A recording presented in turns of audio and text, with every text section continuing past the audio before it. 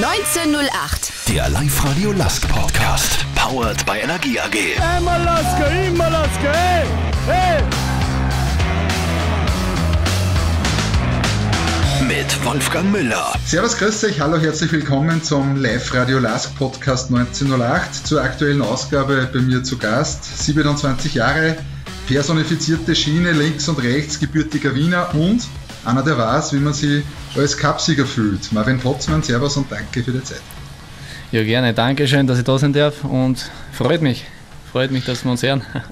Was darf ich da zum Trinken anbieten? Ein Zipfer Urtyp, ein 3, ein Radler oder ein bleifreies Helles, beziehungsweise ein Wasser von BWT, still oder prickelnd? Ja, ich glaube, ich habe gehört, du bist auch Papa geworden vor kurzem. Ja, genau. Genau, das bin ich auch geworden.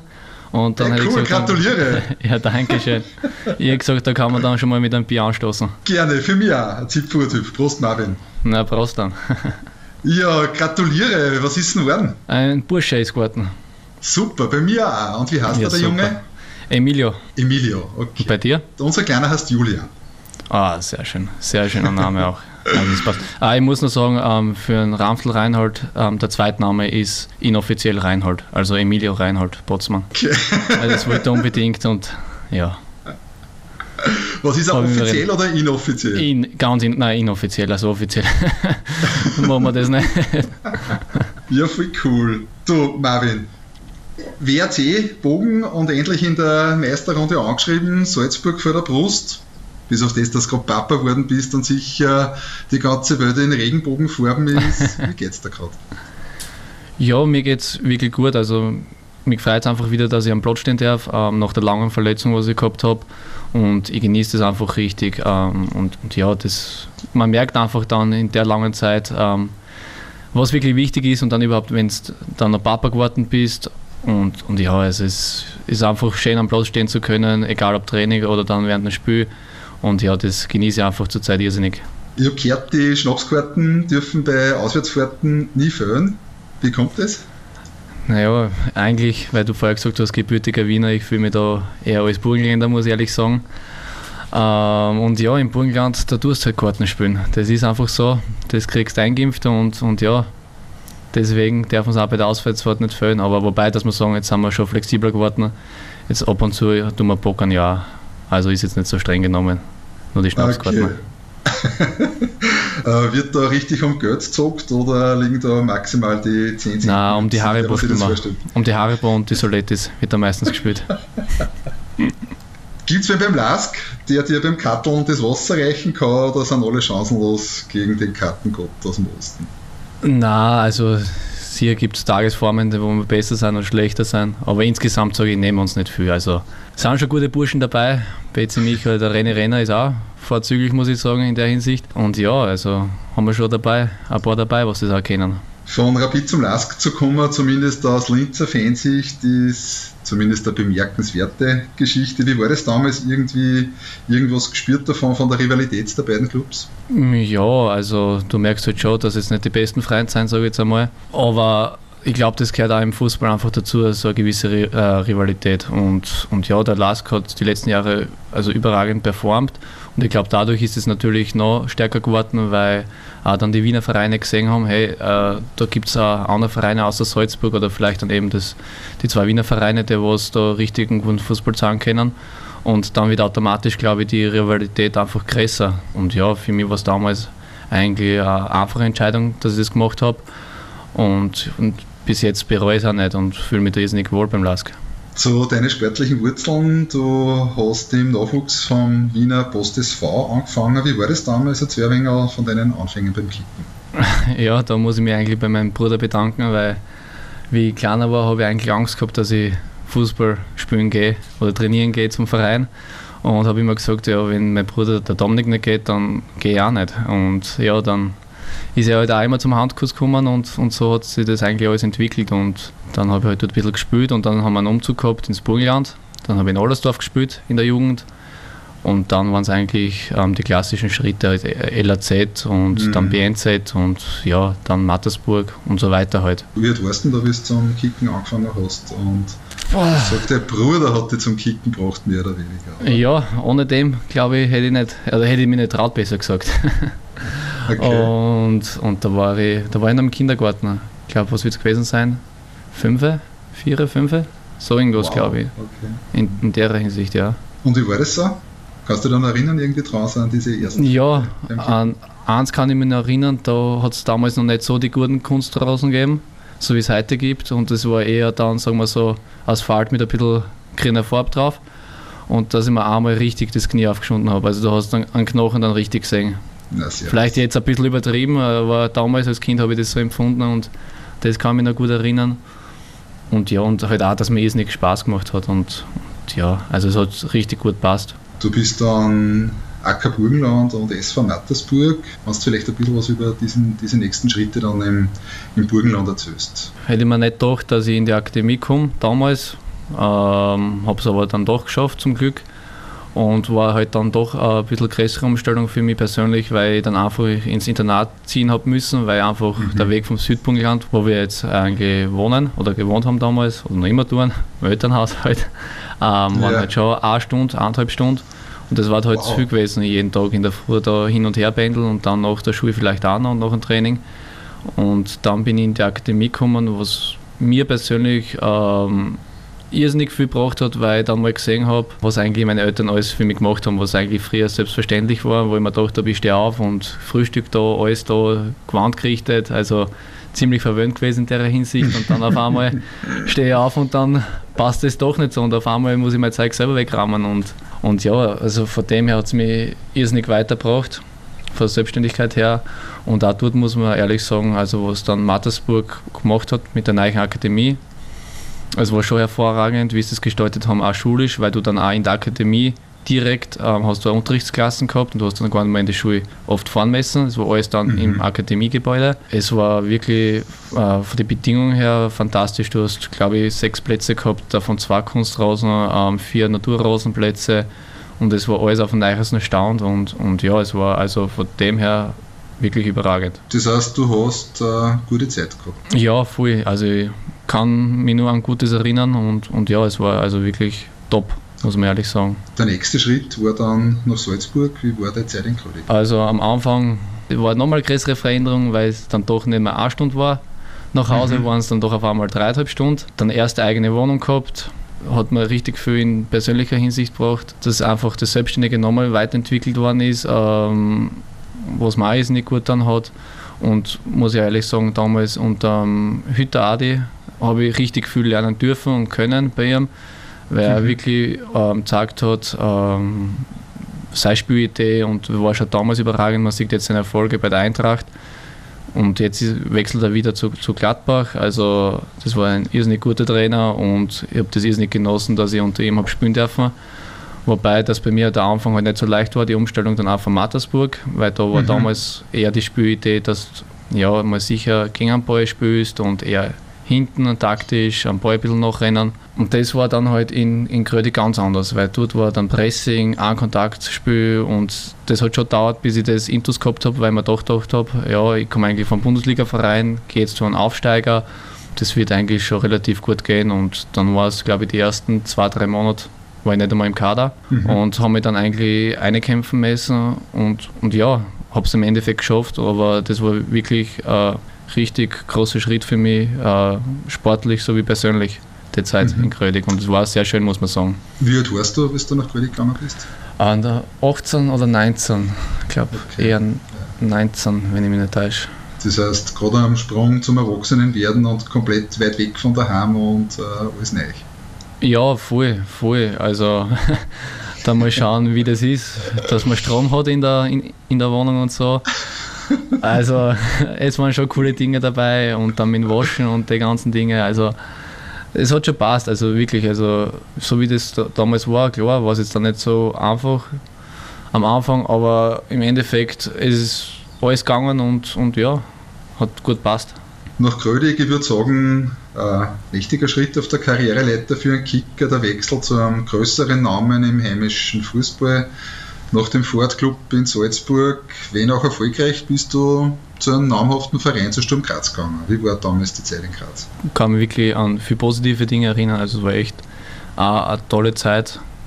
Und ja, sicher der Unterschied. Am Anfang haben wir gedacht, ja, jetzt fange ich dort an, wo ich aufgehört habe, mit dem Fußballspielen, aber wenn du dann bei einem bisschen größeren Verein bist, merkst du dann halt alles, dass dann halt auch ein bisschen Druck dazu kommt, weil, wenn wir uns ehrlich sind, damals in Krödig, ja, sicher wollte das jede Partie gewinnen, aber da war jetzt nicht ein, ein, ein Druck, da du sagst, du musst jetzt jede Partie gewinnen, da war es eher so, ja, jetzt super, jetzt spielen wir gegen, weiß nicht, gegen Sturm, gegen Rapid, gegen die Austria, wenn es klappt, ist super und wenn nicht, dann, ja, ist auch nichts Schlimmes passiert, aber dann, mhm. wenn du halt zu Sturm kommst, da hast du halt dann schon andere Ansprüche und das ist gar nicht so ohne, dass du dann eben damit umgehst, auch wenn es dann mal nicht so läuft, dass dann merkst schon von den Zeitungen her, auch von den Fans her, dass das ja nicht so ohne ist. Und ja, das ist halt ein, ein stetiger Lernprozess. Und im ersten Jahr war es eigentlich eh relativ, habe ich ein bisschen gespielt.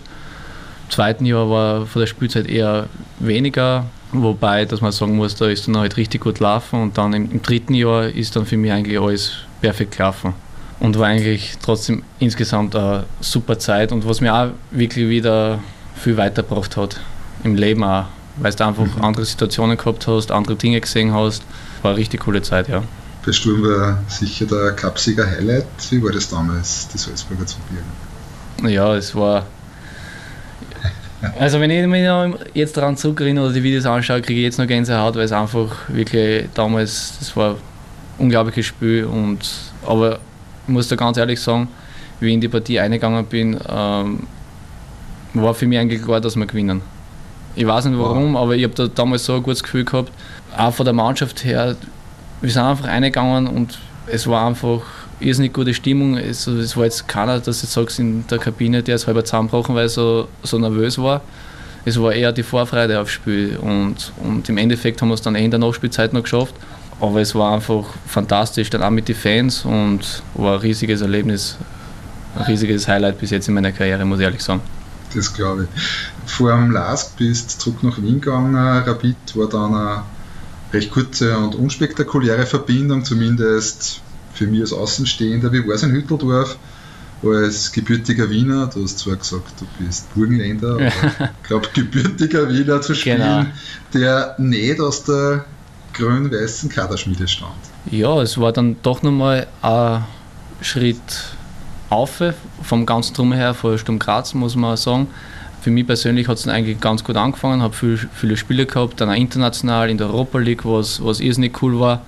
Mhm. Ähm, klar, in der Meisterschaft ist dann damals nicht so gut gerannt, ähm, war dann auch der Trainerwechsel. Und ja, für mich persönlich war es dann eigentlich auch vom Leben her, bin ich es gewohnt gewesen, eher dann ländlich zu wohnen, sage ich jetzt einmal. Und habe mir eh deshalb dementsprechend außerhalb was gesucht mit der Freundin. Zwei Hunde haben wir halt gehabt. Aber ich habe dann auch gemerkt und bei meiner Freundin auch, dass es einfach für uns jetzt nicht so leibend ist, in Wien zu leben, weil wir einfach ähm, eher die ländliche Typen sind. Also das war halt auch vom Wohlfühlfaktor her nicht so, so cool, wie es jetzt da zum Beispiel in, in Linz ist. Bei, bei Sturm Graz ist jetzt auch nicht so die Riesenstadt. Und ja, das habe ich halt auch gemerkt. Und im Endeffekt hat es dann eh noch ein Jahr für, für beide Seiten dann nicht mehr passt und da war einfach dann die beste Lösung oder die perfekte Lösung für mich, zum LASK zu gehen und, und ja, das war es dann auch im Endeffekt. Das wäre dann eben die nächste Frage gewesen, der Schritt nach Linz. Warum bist du 2019, außer dass Linz jetzt der geschickte Gress hat, gerade zum LASK gegangen? Nein, eh schon wie ich vorher auch gesagt habe, da haben mehrere Faktoren mitgespielt. Man, man muss sich anschauen, was der LASK in den letzten Jahren alles erreicht hat, wie es gewachsen sind. Ähm, und ja, das war für mich eigentlich eine richtig coole Option und, und habe mich irrsinnig gefreut, dass es geklappt hat. Und bis heute freue ich mich, dass es geklappt hat, muss ich ehrlich sagen. Ich glaube, man sieht selber jetzt, jetzt waren wir zweimal hintereinander in der Europa League, ähm, wie, wie, der Club sich entwickelt. Ähm, wir sind in der Meisterschaft immer eigentlich ganz vorne dabei. Jetzt dann im nächsten Jahr, wenn du denkst, dann überhaupt mit einem neuen Stadion. Also es ist da wirklich was im Aufbau oder äh, im Entwickeln und es ist einfach richtig cool, da davon Teil zu sein können. Und, und ja, es macht mir irrsinnig Spaß. Du bist im August 2019 zu uns gekommen wie war diese Zeit des Ankommens, die ersten Wochen in der Stallstadt? Ähm, irrsinnig positiv, also von der Mannschaft her, also ist irrsinnig cooler Spirit drinnen, also ich bin da aufgenommen worden, wie wenn ich schon fünf Jahre da spielen darf. Ähm, und, und ja, es war einfach richtig leicht, da reinzukommen, muss ich sagen, weil es die Burschen auch immer sehr einfach gemacht haben und auch rundherum von den ganzen Mitarbeitern. Also, ich bin da wirklich herzlich willkommen worden Und dann ist natürlich zehnmal einfacher, dass du sagst, du gewöhnst dich ein, du kannst besser deine Leistungen bringen. Also es war echt, echt toll. Ich habe gehört, zumindest habe ich das jetzt nur so in Erinnerung, dass du am Anfang vor allem von der außergewöhnlichen Intensität im Training gesprochen hast, so heftig wie bei den Schwarz-Weißen. Hast du das vorher offenbar noch nie erlebt? Ich denke, dass die anderen Clubs, du hast gerade von Adi Hütter in Grödig gesprochen, auch ihre Trainingspläne mit einer gewissen Intensität äh, haben. Wie darf man sich das vorstellen? Wo liegt da der große Unterschied zu deinen bisherigen Erfahrungen vor dem LASK? Ja, du hast eh eigentlich ganz gut gesagt mit Adi Hütter, da war es eigentlich ähnlich mit dem Pressing, mit dem Stil, was die Mannschaft spielen will. Aber beim LASK war das halt nochmal um ein Vielfaches höher. Also wenn man sich anschaut, wie wir spielen, ähm, mit dem Gegenpressing, schnell nach vorne spielen, das ist eigentlich alles auf Intensität aufgebaut. Also sehr viel. Und dementsprechend musst du natürlich auch trainieren. Und das war davor, wie ich bei Sturm Graz gespielt habe, ähm, war jetzt das nicht so viel. Da war man eher auf, sage jetzt mal, Konto ausgerichtet, Ballbesitzfußball, ein bisschen mehr. Bei Rapid das Gleiche.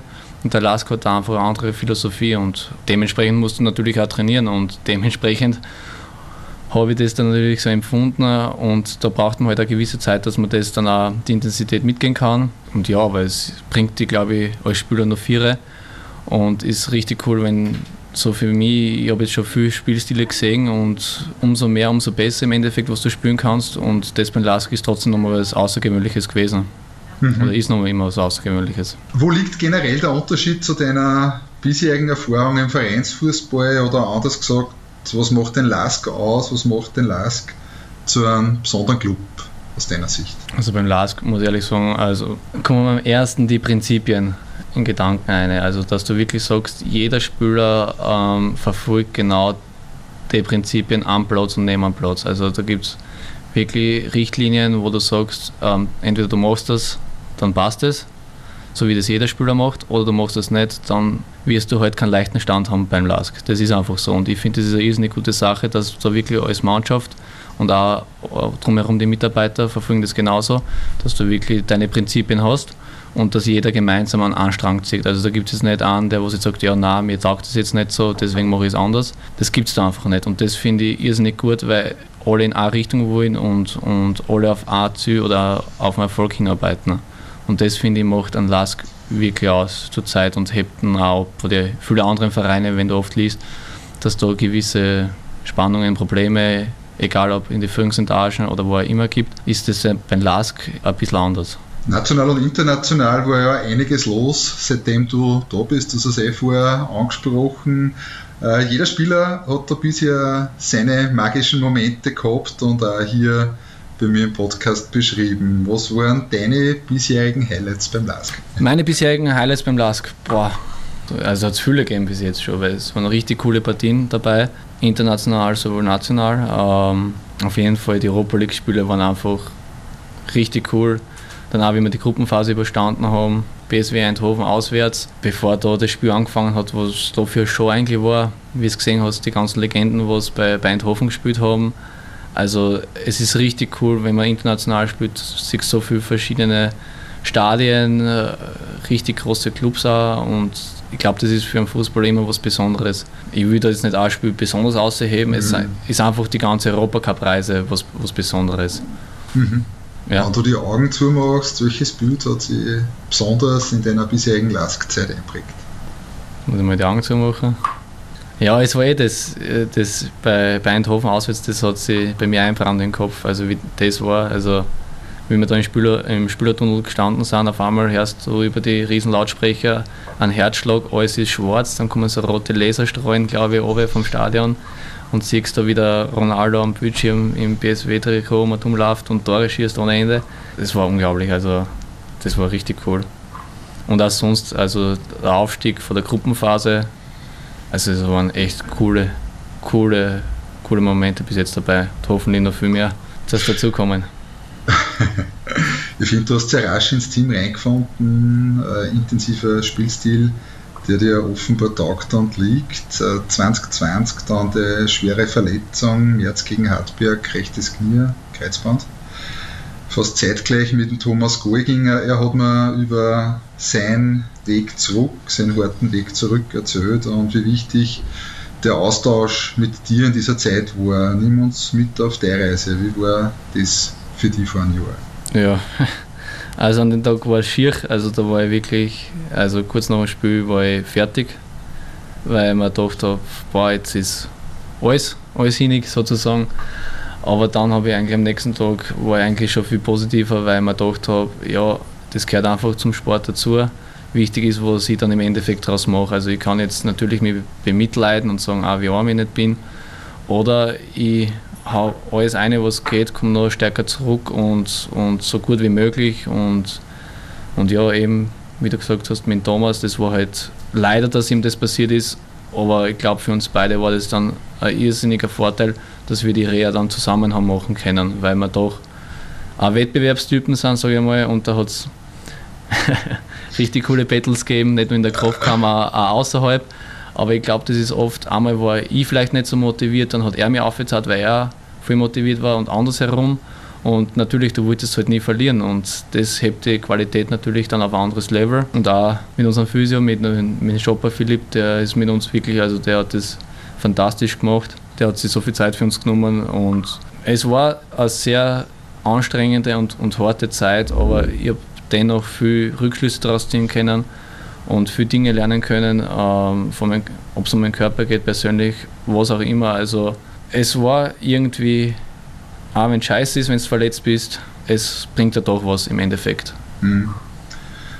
Der Weg zurück ist ja bei einem Kreisbandriss nicht wirklich einfach, weil es ja eine Zeit dauert. Äh, davor kennen zwei Kollegen von dir jetzt auch gerade erlebt davon singen.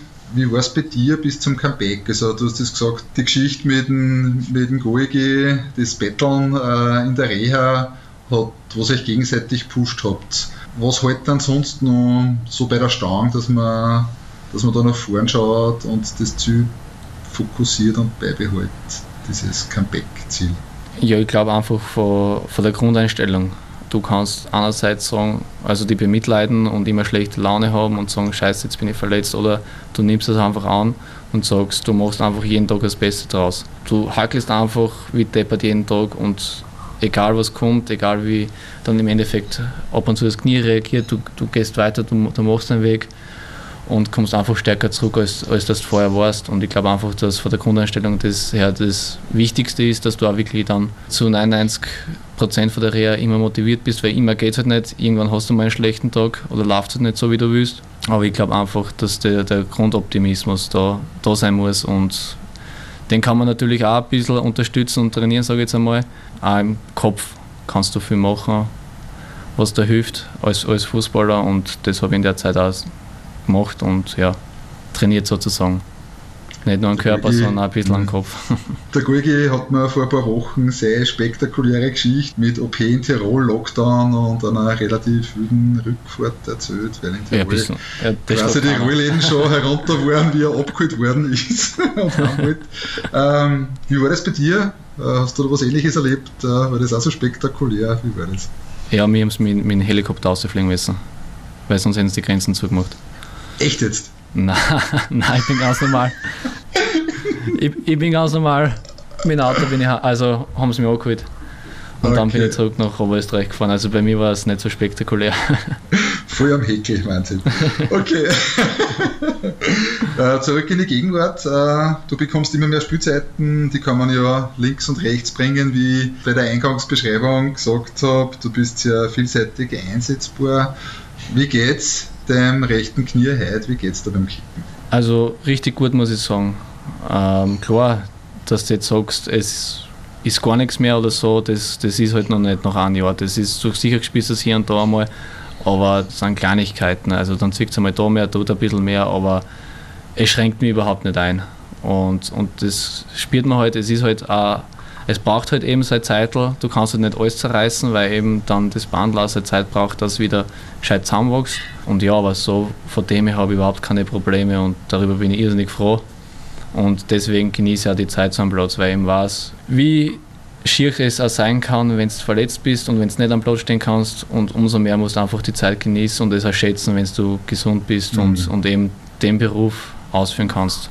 Du hast das vorher gerade angesprochen, Hashtag Comeback Stronger, so eine schwere Verletzung mit einer langen Pause macht ja im Regelfall was mit einem, auch mit dir. Was nimmst du aus deiner Verletzungspause persönlich mit, auch mental? Ja, ich glaube eben der, der Optimismus, ähm, den nehme ich auf jeden Fall mit, ähm, dass ich den beibehalte, dass egal was kommt, es geht immer weiter. Das ist, das ist einfach so. Es können noch so viele Rückschläge kommen. Du musst einfach bereit sein, dass du dann wieder aufstehst und, und weitermachst und einfach immer der Bestes gibst. Es geht halt nicht immer nur gerade nach oben. Und ich glaube, da darf man einfach keine Angst davor haben, weil sonst darf ich nie wieder auf einen Platz rausgehen, weil ich sage, boah, jetzt könnte mir vielleicht da irgendwie was wehtun oder könnte mir wieder irgendwas reißen. Shit happens, ganz ehrlich, und, und das dann einfach annehmen und das Beste daraus machen. Also, mhm. das nehme ich am meisten davon mit. Und das tut mir gut und es ist einfach, ja, das hat mir einfach ein bisschen geprägt. Corona, Covid-19 war ja auch nur ein zusätzlicher Faktor in deinen Comeback-Monaten oder dazu in einer Stadt, wo du da erst seit sehr kurzer Zeit äh, warst bzw. bist. Wie gehst du und wie geht die Familie mit Corona um? Ja, der Marvin hat es eh gehabt, leider. Also ich habe es gehabt, ähm, ja. eh, kurze Zeit nachdem, dass ich, dass ich wieder am Platz gestanden bin. Ähm, ich war eben auch in, dann in, in Quarantäne. Natürlich mhm. hat die Freundin dann auch in Quarantäne messen, waren wir, glaube ich, zwei, drei Wochen in Quarantäne. Mhm. War nicht leibend, muss ich sagen. Also ich habe zum Glück jetzt nicht ähm, wieder Symptome irgendwas gehabt. Mir ist ein, zwei Tage nicht so gut gegangen und danach war es eigentlich, ja, bis auf den Geschmackssinn war alles da. Es ist nicht leibend, wenn du dann zwei Wochen nur daheim bist und nicht raus darfst. Und dass die Zeiten jetzt halt zurzeit sehr fordernd sind, wenn ich mir denke, es tut einfach richtig weh, wenn du jedes Mal rausgehst am Platz und es sind einfach keine Zuschauer da, wobei du wiederum glücklich sein musst oder, oder dankbar sein musst, dass du überhaupt das machen kannst, dass du überhaupt Spiele spielen darfst. Ähm, mhm. Ich glaube, es ist einfach für jeden eine schwierige Zeit. Es gibt sicher Leute, was viel schlimmer trifft als uns. Also ich glaube, wir als Fußballer dürfen da jetzt drüber überhaupt nicht zu, dann, ja, weil wir einfach eh das machen dürfen, unseren Beruf machen dürfen. Und ja, da gibt es einfach viel, viel mehr Leute, was davon betroffen sind, was schlimmer geht. Und ich hoffe einfach, dass jetzt mit den Impfungen und jetzt auch mit dem, ja, das wärmer wird, dass das jetzt hoffentlich bald ein Ende hat und wir einfach wieder unseren Alltag zurückkriegen, so wie es früher war und einfach wieder die Leute wieder ins Stadion kommen dürfen und dass wir einfach zusammen schöne Momente feiern können. Jetzt einmal dann in, in Bashing und nachher dann auf der neuen Google. Und außerdem bist du ja auch in einer Babybubble und da zieht man sich ja gern mit der kleinen Familie zusammen. Ja, das sowieso. Verbringt Zeit. Ja, ein bisschen anspeimen lassen vom Kleinen. Gibt nichts Schöneres beim Ankommen, also super. wann, wann ist er denn geboren eigentlich? Am 22.03. Am 22.03. Ja, ich glaube, du warst ein bisschen davor, gell, mit Julian? Genau, wir sind am 8. Am 8. Naja, geht dahin, die Zeit vergeht, gell? Absolut, ja. Kommen wir nochmal zum Lask zurück. äh, der Verein ist wieder wer, der schlafende Riese, der oft zitierte schlafende Riese ist erwacht. Wie siehst du die Entwicklung des Vereins in den letzten Jahren? Jetzt da als Außenstehender noch nicht äh, Mitglied der Lask-Familie und dann auch seitdem du da bist. Ja, ich habe damals schon bei Sturm, ähm, haben wir schon ein paar Mal über den Lask geredet gehabt. Eigentlich, ich glaube, da sind sie dann aufgestiegen in die Bundesliga. Und das ist eigentlich schon zweite Liga. Da, ich glaube, einmal haben sie Pech gehabt, aber warten sie dann vorhin aufgestiegen, wenn ich mich nicht täusche. Mhm. Und dann genau. haben sie es eh geschafft. Dass das eigentlich äh, ein guter Verein ist vom Spielstil her, dass es ein bisschen unorthodox ist, sage ich jetzt einmal, äh, wie sie spielen, so intensiv und haben uns gesagt, das können die ja nicht in der Bundesliga so, so, so durchhalten mit, mit dem Pressing und allem. Wir haben einfach gemerkt, ja, da entwickelt sich eigentlich was beim, beim LASK, damit die Erfolge was gehabt haben. Dann bei Rapid sowieso, hast dann gesehen, dass der Lask, dann sind sie Zweiter geworden, dass da richtig gute Kicker dabei sind, dass die eine richtig coole Philosophie haben, dass die eine richtig gute Mannschaft haben und, und dass sie sich eigentlich vor keinem mehr verstecken müssen. Und dann habe ich es dann eh selber gesehen, wie das ist, wenn es beim Lask spielst, was da gefordert ist.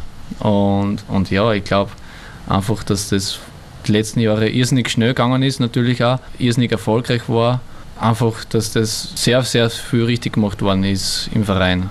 Und ja, und ich glaube, dass einfach das jetzt mit dem Stadion der nächste Schritt ist und dass man da einfach nochmal weiter wachsen kann. Man darf jetzt natürlich jetzt nicht erwarten, dass jetzt der, der Lask jedes Jahr Meister wird, so, so wie Red Bull, weil es gibt eben Red Bull halt auch noch, der muss mhm. ein bisschen mehr Budget und alles haben und so wie Rapid. Und, aber ich glaube, dass der Lask jetzt, so wie du gesagt hast, einen richtigen Namen gemacht hat, jetzt eben national, aber jetzt auch international mit den zwei Europa League-Saisonen. Und ich glaube, dass da einfach auf einem irrsinnig guten Weg sind, oder wir auf einem irrsinnig guten Weg sind, dass wir uns da einfach etablieren und dass die Leute sagen, ja, schaut um, in Oberösterreich, da, da tut es einiges. Also das sind richtig gute Burschen da. Die, die Ansprüche der Fans steigen natürlich auch nach tollen Phasen der letzten Jahre. Wie geht es euch im Team, wenn da bei einmal dazwischen durchwachsenen Leistungen zum Teil harte Kritik von draußen reinkommt? Ich persönlich ähm, habe mir das aufgehört komplett. Also das habe ich bei Sturm, dann bei Rapid, wo auch immer gelernt. Also wenn du das liest, was da in die sozialen Medien geschrieben wird, über die, über die Mannschaft, ja, wenn es da drei Kommentare liest nach einem Spiel, was halt nicht so leimend war, dann musst du eh hinterfragen, ob du überhaupt geradeaus gehen kannst, so mhm. wie da kommentiert wird. Und sind meistens dann auch Leute, die was jetzt, sagen wir mal, ja, jetzt nicht per Du sind mit dem Ball, ähm, aber großartig herumreiten. Klar, jeder Fan darf seine Meinung haben und es ist auch legitim, das passt alles. Aber ich glaube, als Fußballer darfst du das oft nicht zu Herzen nehmen, weil da auch viel die Emotionen draus aussprechen durch das. Und mhm. ich glaube, wir messen einfach selber, wir wissen dann eh selber, wann wir jetzt gut, wann wir nicht gut. Und da müssen wir uns einfach auf uns konzentrieren, bei uns bleiben und einfach schauen, dass wir einfach wirklich jedes Spiel unsere Leistung bringen können, weil es, es hilft nichts, dass jetzt einer in die sozialen Medien schreibt, ja, super war es heute und dann klopfen uns alle auf die Schulter und dann im nächsten Spiel schreiben sie, ja, haut die ganze Mannschaft aus. Was jetzt zum Beispiel bei Lars Gene der Fall ist. Aber hat es auch schon gegeben, kenne ich alles, die, die Geschichten. Und deswegen glaube ich, als Fußballer ist man da gut beraten, wenn man nicht alles liest und schaut, was in sozialen Medien oder in Zeitungen geschrieben wird. Also das, glaube ich, ist ein wichtiger Faktor. Mhm. 2018 bist du das erste Mal ins Nationalteam einberufen worden. Wie war das, wie du für das Team aufgelaufen bist? Gefühle, Erinnerungen an die Einberufung? Ja, auflaufen habe ich leider nicht dürfen. Das war bitter. Aber im Training hast du halt schon gemerkt, äh, puh, das sind richtig gute Kicker. Aber war jetzt auch nicht so, dass ich sage, äh, das, was die machen, ist eine andere Sportart. Und ähm, das war für mich halt wichtig zu sehen, dass ich eben auch äh, mitgehen kann, das Tempo, die, die Qualität. Und das war für mich halt sehr aufschlussreich, weil du einfach viel mitnehmen kannst von Leuten, mhm. was zum Beispiel wie ein, wie ein Alaba, der was bei, bei Bayern spielt, was macht der zum Beispiel im Training, wie macht er das. Ähm, da kannst du halt irrsinnig viel so Kleinigkeiten anschauen und, und, und Dinge. Das war irrsinnig super zum Sehen und, und ja, hat mir natürlich auch irrsinnig viel gebracht. Einfach zu schauen, äh, wo muss ich mich verbessern, was kann ich besser machen, wo bin ich eigentlich schon recht gut. Ähm, und ja, das sind halt richtig coole Erlebnisse auch und ja, war, war, war richtig leibend, muss ich sagen. Also war für die Jungs, ich bin da auch super aufgenommen worden. Also war, war eine tolle Erfahrung. Apropos Nationalteam, wer wird heuer Europameister und wo Land Österreich? Hm, das ist eine gute Frage. Europameister. Muss ich ein bisschen überlegen. Hm. Ja, ich glaube, dass Frankreich wieder eine sehr gute Rolle spielen wird. Mhm. Das ist meine Meinung. Und ja, wo landet Österreich? Ich hoffe, ich hoffe, Saison für Furore. Also, dass wir äh, eine coole Stimmung haben im, im Land. Und, und ja, im Endeffekt bei so einem Turnier, bei den wenigen Spielen, es kann alles passieren. Und, und ja, ich hoffe einfach auf richtig coole Spiele für Österreich. Und, und wer weiß, vielleicht gelingt uns ja ein paar Überraschungen. Es war jetzt richtig cool. Und mhm werde ich an Gassi sagen, dass er da ein bisschen aussitzen so wie ein paar Bälle und so. Also die Hitten. Ja, so, ja, sage ich ihm schon. Werde ihn ein bisschen motivieren vor dem Spiel dann. Das, das kriegen wir schon hin. Apropos Tipps, ich habe vor zwei Wochen den Tipp abgegeben, dass wir heuer mit dem LASK einen Titel holen, egal ob Cup oder Meisterschaft. Was sagst du zu meiner Idee? Das ist eine sehr, sehr gute Idee, muss ich da sagen. Und ja, also ich habe es eh schon oft gesagt, auch wie ich hergekommen bin. Also die Mannschaft wird einfach, oder bin ich der Überzeugung, muss einfach Titel holen, so, so wie jetzt beieinander sind, weil das einfach ist eine Qualität vorhanden. Und es war halt schade, wenn wir da wirklich jetzt nicht sagen, ähm, dass wir uns einen Titel holen können. Ob es diese Saison ist, nächste Saison ist, ist, ist egal, muss ich ehrlich sagen, aber wenn es mit der Mannschaft keinen Titel holst, das, ist, das war echt bitter, weil ich eben auch ein bisschen vergleichen kann, damals mit Sturm Graz, mit Rapid auch, wo, wo wir jetzt nicht unbedingt mal einen Titel mitgespielt haben, aber du, du siehst halt, wie von der, von der, Qualität her, von der Mannschaft und da ist der Lask, braucht sich da vor gar kein Verstecken. Ganz im Gegenteil. Mhm. Und also ich unterschreibe das, was du gesagt hast. Es wird Zeit und, und jetzt haben wir eh ein Finale dann vor der Brust, was mhm. richtig cool wird und auf das freuen wir uns, glaube ich, einfach irrsinnig und da werden wir natürlich alles reinhauen. Das Wochenende gleich Salzburg, äh, Vorbereitung fürs Cup-Finale am 1. Mai. Dann Wochen drauf, gleich ein paar Tage später gegen Rapid, beides wichtige Partien in der Ausrichtung im Meisterplayoff. Wie stößt du dich auf diese sehr wichtigen kommenden Wochen mental ein? Ich freue mich einfach. Für einen Fußballer sind das richtig coole Spiele, weil du einfach sagst, du messt dich da wirklich dann mit den Besten von der Liga und das finde ich immer am besten, weil es einfach äh, eine coole Sache ist, wenn du einfach merkst, da drüben sind richtig gute Kicker, wir haben richtig gute Kicker und, und ja, schauen wir, was da heute rauskommt. Ähm, wir werden alles reinhauen. Wenn es das nicht macht, dann wird es verlieren und wenn wir das nicht machen, dann werden wir verlieren. Also das ist einfach, ich finde das einfach irrsinnig cool, ich freue mich auf solche Spiele einfach. Also ich bin ja. da jetzt nicht irgendwie so, boah, jetzt bin ich nervös, wenn da ein Fehler passiert oder irgendwas. Ich glaube, das ist die komplett falsche Einstellung, weil dann passiert genau sowas. Also ich glaube, du musst da einfach reingehen und sagen, hey geil, heute spielen wir gegen Salzburg, heute spielen wir gegen Rapid. Fußball, äh, was gibt Schöneres? Und ja, so gehe ich halt in die Partien rein. So, so bereite ich mich eigentlich mental darauf vor, dass ich sage, geil einfach, ich freue mich auf die Partie, ich brenne einfach drauf. Wenn einer weiß, wie das geht, dass man Salzburg in ein Cup-Finale birgt, dann bist du das. Kleiner Flashback für uns. Wie war das und wie schafft sie das heuer am 1. Mai, dass sie die Bullen knackt? Ja, also Red Bull ist einfach, brauchen wir nicht reden, in Österreich mit dem Budget und mit den Spielern, was haben, einfach eine überragende Mannschaft. Das sieht man in den letzten Jahren. Ich glaube, eh bis auf Sturm Graz damals haben sie, glaube ich, die letzten fünf Jahre neun Titel geholt, eben bis auf das Cup-Finale. Dass es irrsinnig schwer wird, gegen sie zu gewinnen, da brauchen wir nicht drum herum reden. Aber ähm, ich habe auch mit den Burschen schon geredet, wir brauchen uns einfach gar kein Verstecken. Das ist, wir müssen einfach da mit Spaß, mit Freude eingehen, einfach unser Ding durchziehen. Und, und ja, und das habe ich auch ihnen gesagt, weil sie ein paar Mal gefragt haben, eben ein bisschen da zum Spaß, wie man da reingehen soll. Ähm, und, und ja, also einfach nicht verstecken, einfach nicht nervös sein oder Angst haben vor irgendwas, einfach mit Freude eingehen und sagen, hey, wir können da sowas Geiles erreichen, was wo ganz Oberösterreich wahrscheinlich um und um springt daheim dann. Und so muss man, finde ich, eingehen in, in sowas und, und ja, nicht irgendwie ängstlich sein. Das finde ich wichtig. Wenn ihr uns den ersten Titel seit 1965 holt, marschieren sicher zahlreiche Fans nach Maria Zöhr auf Wallfahrt. auf alle Fälle wird ganz Österreich feiern. Hast du dir was Spezielles vorgenommen beim Sieg am 1. Mai? beziehungsweise laufen in der Kabine irgendwelche Wetten wie wie schneiden wir Glotzen bei einem Sieg oder ich renne locker über den Hauptplatz oder sowas ähnliches? Ja, eher, eher mit Tätowieren, was ich heute rausgehört habe. Da wollen sie, wenn wir gewinnen, schon ein paar die, einen, einen Pokal tätowieren. Okay. ich weiß nicht, wie ernst das, das ist. Ähm, und ja, jetzt wichtig ist, dass wir jetzt mal die nächsten Spiele wirklich konzentriert spielen, dass wir da geht für in der Meisterschaft und wenn es dann soweit ist, wenn dann das Finale vor der Tür steht, dann werden wir uns natürlich auf das gebührend vorbereiten und ja, einfach, einfach so wie ich gesagt habe, muss dann Spaß haben, einfach das durchziehen, was wir jetzt uns die letzten Monate, Jahre erarbeitet haben. Mhm. Und dann wird es sicher ein geiles Spiel. Und wie es dann ausgeht, das wird Messing, das kann man im Fußball ja vorher nie sagen.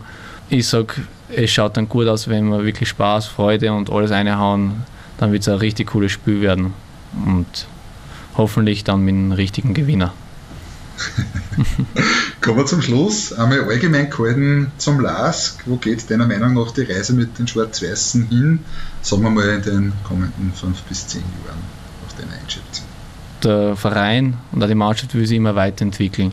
Und ich glaube, das ist irrsinnig gut, dass man sich einfach nicht mit dem, was man bis jetzt erreicht hat, zufrieden gibt, sondern immer schaut, hey, was kann man besser machen, wie können wir uns weiterentwickeln ähm, wo können wir uns einfach verbessern. Und ich glaube, alleine geht es mit dem Stadion, was da hinkommt. Also das ist schon ein riesiger Meilenstein für, für Linz, für Oberösterreich und für ganz Fußball Österreich. Und auf dem hinauf wird es dann natürlich auch natürlich die Ansprüche, so wie du vorher gesagt hast, was die Fans haben, werden auch höher werden. Aber Aber ich glaube einfach, dass wir dann denen auch gewachsen sein und wir werden einfach alles dafür tun ähm, am Trainingsplatz, dass wir dann ähm, am Spieltag unsere Leistung bringen können und, und die Fans viel Freude bereiten können. Neu dieses Jahr, nächstes Jahr und in die nächsten fünf bis zehn Jahre. Und ich glaube, da ist der Lask auf einem irrsinnig guten Weg und für mich da jetzt eigentlich nichts darauf hindeuten, dass das irgendwie in die andere Richtung gehen könnte. Aber natürlich muss man immer dahinter sein und, und immer hart daran arbeiten. Konkret zu deiner Zukunft, Vertragsverlängerung vorerst bis Juni 2023, das heißt für die kommenden zwei Saisonen, was sind deine Pläne noch in Linz, was gibt es für dich beim LASK Neues zu erreichen? Ja, du glaubst, du hast es gerade eh gesagt, Titel. Titel holen, also auf jeden Fall ähm, weiter erfolgreich so ähm, arbeiten wie bis jetzt mit der Mannschaft, dass wir einen Erfolg haben. Da geht es gar nicht so jetzt um meine Person, da geht es eigentlich um den Erfolg der Mannschaft und dazu will ich einfach beitragen. Ähm, und das ist für mich das Wichtigste. Es ist einfach, äh, jeden Tag komme ich wirklich mit einem Lächeln zum Training, weil ich weiß, äh, irrsinnig cool da zu arbeiten mit den Jungs, mit dem Trainerteam und allen drum und dran. Und auf das freue ich mich einfach und das ist einfach irrsinnig schön und, und ja, schön, dass das jetzt noch zwei Jahre ist und schauen wir dann, wie es weitergeht, was, was wir dann ernten im Endeffekt. Und ja, bin ich schon ganz gespannt. Mario Botzmann, danke fürs Gespräch bei 1908, ja, dem Live Radio Last Podcast. Alles Gute und vor allem Gesundheit. Dir danke, und deiner Familie danke. wünsche dir noch viel Erfolg und natürlich danke. viele großartige, tolle Momente in Schwarz-Weiß. danke dir ebenfalls, dir und deiner Family, gell? Soll gesund bleiben. Schön, Super. Gut. Danke, Baba. Für Ciao, Ciao. Baba. 1908. Der Live-Radio Last Podcast. Powered by Energie AG.